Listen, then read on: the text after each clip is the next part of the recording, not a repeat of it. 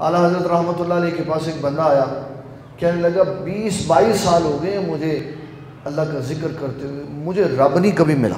रब नहीं मिला। अब ने फरमाया, आज हमारे पास रो हम तुम्हें रब से मिलवा देते बड़ा उसके लिए अजीब था कि बाईस सालों में तो मिला ही नहीं तो आज कैसे मिले? आपने उसको गर्मियों के शिद्दत वाले मौसम में मछली खिलाई और फिर उसको आराम वाले कमरे में बंद कर दी। वो कहने लगा, पानी तो पिला दो यार। अब वो तलब उसकी बड़ी, पानी की शिद्दत महसूस हुई। पानी नहीं उसको।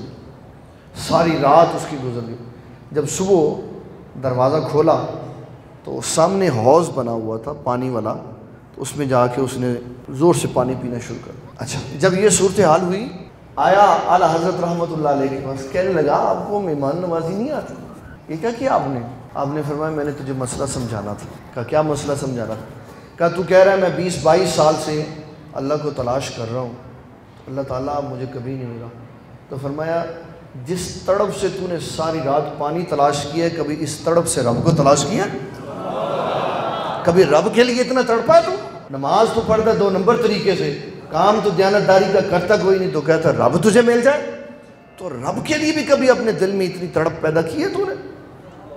आज जिस तरह पानी के लिए तड़पा, एक दिन रब के लिए तड़प, फिर देख अनवार तजलियात की बारिशें कैसे होती।